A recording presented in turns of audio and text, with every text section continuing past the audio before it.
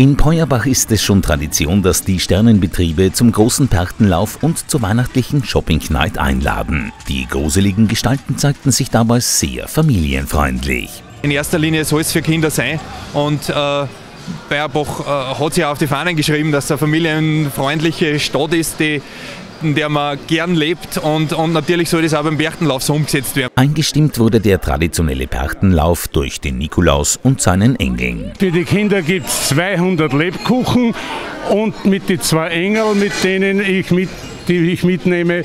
Da gibt es Zuckerl, Schlecker und andere Süßigkeiten. Doch nach dem Süßen gab es dann doch noch für so manchen auch Saures durch die Route. Wahrscheinlich so 20 Mal so ungefähr.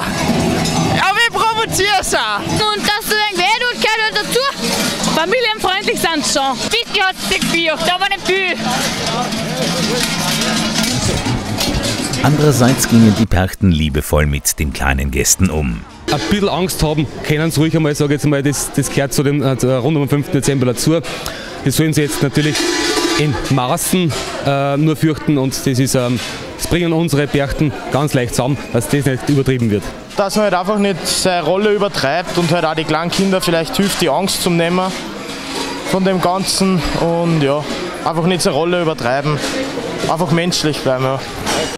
Immerhin stecken hinter den schaurig schönen Masken Menschen und da muss man als Percht oder Krampus schon auf Sicherheit achten. Ja, es ist halt schon gefährlich, wenn man mit den langen Händeln, dass man dann irgendwie anteifelt oder was, man sagt ja fast gar nichts. Im Laufe der Jahre sind die Shows immer ausgefeilter geworden. Dem Peuerbacher Publikum wurde einiges geboten.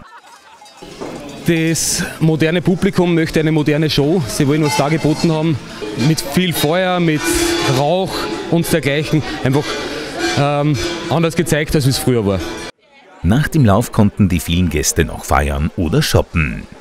Ja, natürlich. Also wir haben ähm, wieder ein Shopping Night von den Betrieben. Wir haben äh, das Buntsdorf äh, von unseren Vereinen. Wir haben heuer das erste Mal auch als Sternenbetriebe noch äh, äh ein Bundstandel aufgestellt. Und ja, es tut sich eine ganze Menge in, in, in Bayerbach. Cool.